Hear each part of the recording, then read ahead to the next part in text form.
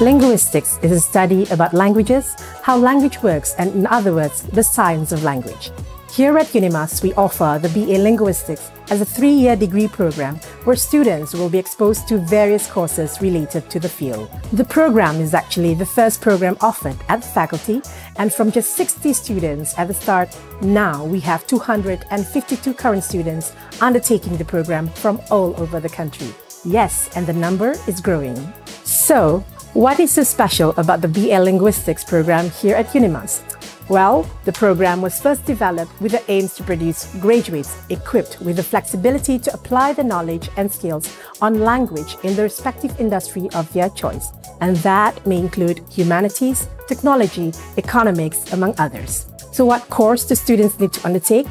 The program is structured so that students cover the core courses, which include phonetics and phonology, that looks at the aspects of sound and its structure, morphology, the study of words, how they are formed and how it relates to other words in the same language, semantics and pragmatics that looks at meaning and meaning in context, apart from other core courses that add value to the program, namely psycholinguistics, discourse analysis, historical linguistics, and others.